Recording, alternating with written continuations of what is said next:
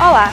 O TRE Bahia Notícias Especial continua em viagem para registrar o recadastramento biométrico no interior do estado. Nossa equipe percorreu quase mil quilômetros em direção ao oeste baiano para chegar até a cidade de Coribe.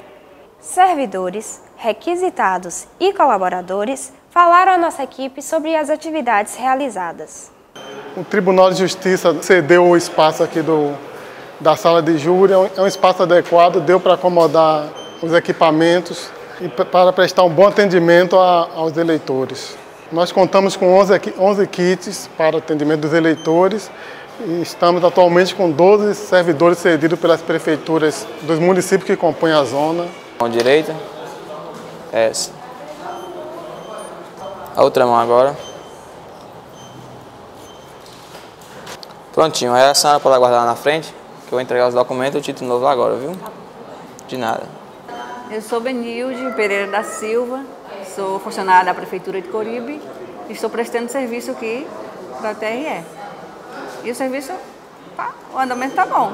Estou trabalhando é, no TRE na impressão dos títulos. Nosso trabalho está sendo muito bom. Ah, chegamos a atender 120, 180, 200 pessoas diariamente e estou gostando muito. Os eleitores estão satisfeitos com o trabalho realizado na Zona Eleitoral 61.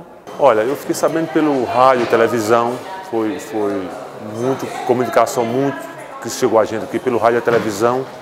Eu fiquei sabendo desse, desse serviço, foi muito espetacular. Os funcionários, então, são, são bacanas e o atendimento muito bom. Gostei demais, muito organizado, muito bacana. O TRE Bahia Notícias continua na estrada acompanhando o recadastramento biométrico. Confira aqui no YouTube e nas nossas redes sociais. Obrigada pela atenção e até a próxima parada.